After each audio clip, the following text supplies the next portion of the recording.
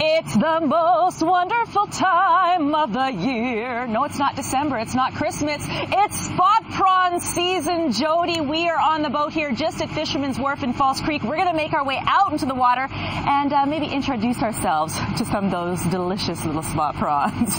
Yummy. Thank you so much, Dawn. Yeah, not no longer dockside. We're actually out on the water. We've got Frank and Steve here. How long you guys been working together? Oh, far too long. Far too long. 30 years probably? 140 years, yeah.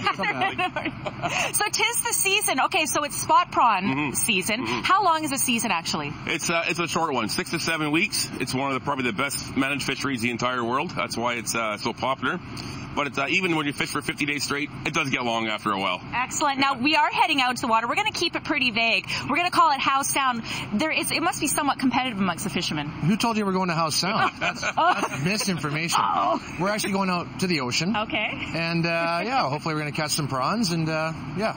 All see right. what happens. So um, let's talk a little bit about this boat. Yeah. Yeah, it's called the Organic Ocean Number One, and this is a, is a high-speed prawn boat. It's made to leave in the morning.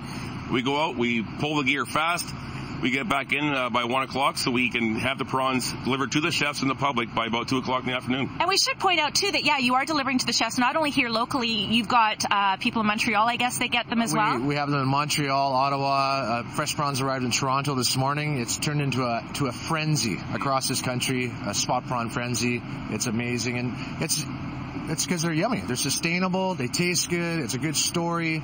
And hopefully we catch some today so you can see that. I hope we do catch some today. By the way, Jody, again, we are on the boat all morning long. Uh, I'm in for a good time and maybe even might try a little spot prawn or oh, two. Yeah. Oh, we'll be trying them. That's our It's the best spot prawn sashimi you could ever have, Dawn Chubai, right out of the water, right on the boat. I haven't spotted any prawns yet, but we are on the boat, and what a beautiful morning. Hey, some people actually got to work for a living, well, including the fishermen we're with this morning. Coming up next, Jody, a very important part of the job. We are filling up the live hatch. That's coming up at about quarter after seven.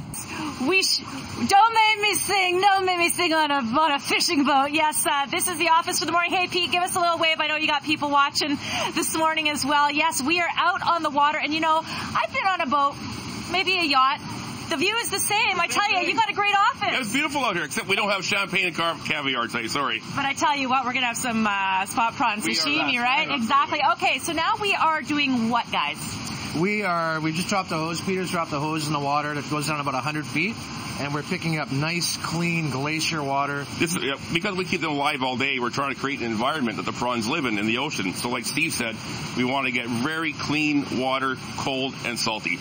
Excellent. Now, when people, when you actually are done your fishing for the day, and we make our way back, yep. uh, people can actually get them as fresh as you possibly can get them. They are live and jumping, yes. I mean, it kind of freaks some people out, but that's the whole idea of fishing live prawns, yeah. Exactly. We will be doing that coming up next, Jody. Uh, we're going to see if we can catch some prawns, and I don't care that we don't have champagne this morning, and you know I love me my champagne. Yeah. This is a pretty nice office this morning, guys.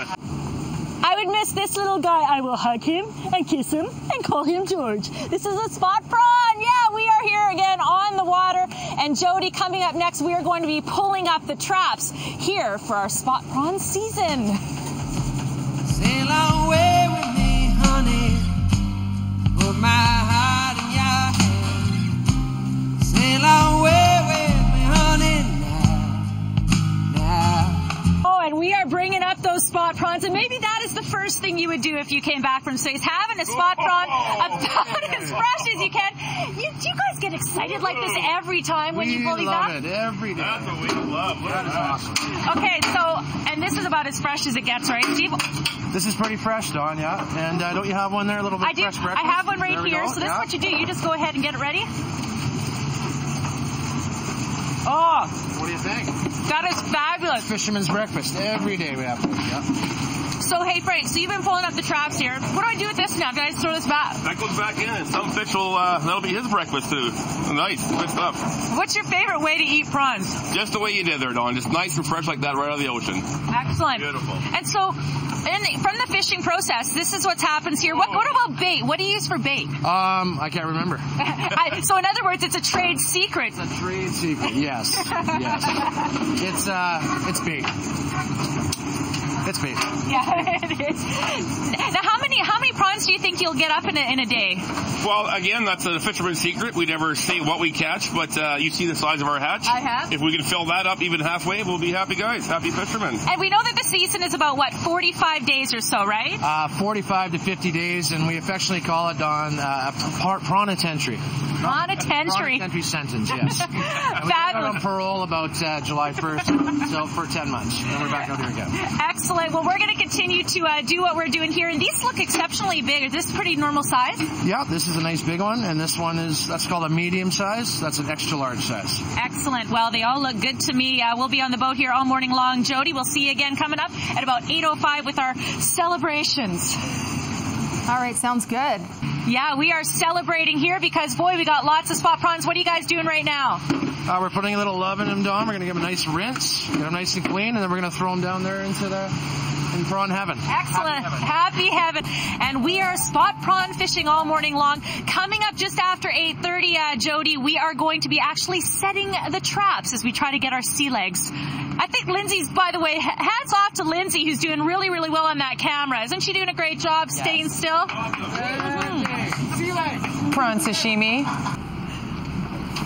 How's my hair? How's my hair? It doesn't really matter, does it, Frank? That's perfect fisherman hair. Perfect fisherman hair. We've been having a great time all morning doing some spot prawn fishing. What are we doing right now, Frank? Well, right now we're putting the traps back in the ocean, and hopefully they're going to land where the prawns live. And how important is it that you use traps as opposed to nets? Oh, it's it's absolutely important. Uh, the traps do no damage to the ocean floors, and anything that we catch in there that is bycatch, as you guys seen, it comes up alive. We put it back in the ocean, it swims away happily. And we've seen that a bit this morning with fish and starfish and crabs. Uh, let's talk. How do you know where to put the traps? Well, we like to think we have experience. A lot of it is luck, but uh, prawns like to live in rock piles, so we try to find on our depth sounders where the uh, the rock piles are, deep ocean water. So hopefully, by the time we shoot them out like this, they will land where the where the prawns are. We hope. Now, Steve is driving the boat right now, but both of you guys grew up in, in homes where your your father were fishermen. How have you seen the industry change since you were? Yeah, it used to be like the Wild West out there years ago. When I first started, was a kid, there were thousands of boats, uh, no rules, no regulations. It had no future. So, you know, things have changed a lot in the last 20 years, and it's all for the good. It really is for the next generation to be out here fishing. And we've gotten uh, quite a few. We're not going to give away our trade secrets, but the fact that we've seen so many prawns and the fact the size of them, what does that say about what's going on in Well, the ocean right now? well, it definitely with these regulations like this, you know, we're catching le- less fish. Um, it's more monitored, and that's a good thing. I've seen the ocean conditions improve the last few years, and I think uh, you know we're on a good path here. We really are. We really are on a good path, and again, it is the spro- spot a prawn season. Thank you much, so much to Steve and to Frank and Pete. Good job on the TV. I know a lot of people are going to be watching you today. Uh, really great experience out here, Jody, and enjoy those spot prawns with a good conscience, knowing that uh, it's all being sustainable out here.